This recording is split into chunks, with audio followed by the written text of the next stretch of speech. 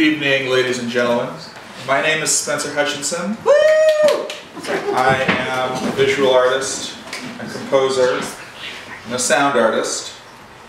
And the piece we are debuting tonight is an extrapolation of a sculpture titled On Second Thought, featuring an oscillating fan and a concert violinist whose name happens to be Consuelo Lepauw.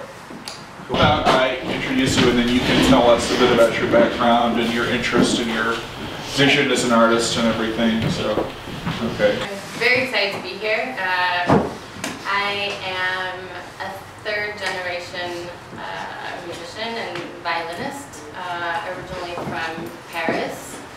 Um, I just got back to Chicago actually from, from France uh, about six weeks ago.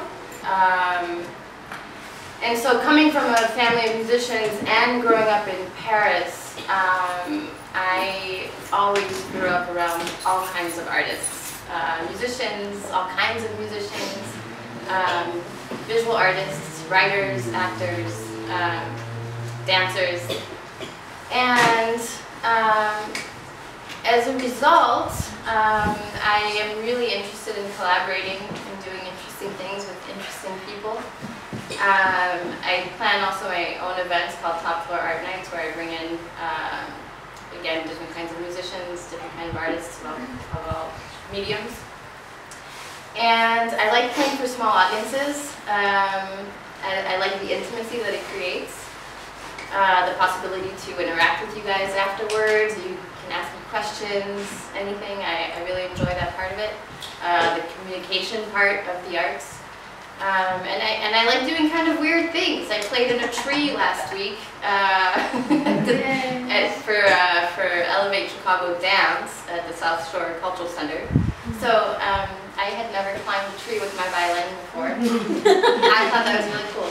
So I'm excited to play with the fan tonight. So I'll say a little words, I'll say a few words about the fan. So the sculptural piece was sort of a parody of Marcel Duchamp's bicycle wheel on the stool. And my idea was that a box fan, or a fan, was superior to a bicycle wheel because it turns itself, and you don't have to manually turn it. And when Duchamp was asked why he made the sculpture, he said he liked to watch the wheel move in his studio. So um, it's a variation on that. And of course, uh, the idea of the sound of the fan um, being a somewhat iconic sound, iconic in the way that the sound of a violin is iconic, but at very opposite ends of the spectrum, and so bringing those two together. So what Consuelo has been instructed to do for the performance is to imitate the machinations of the fan.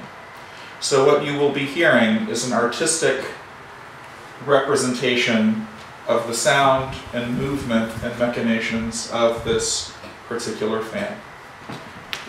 And everyone is ready. I believe we will start.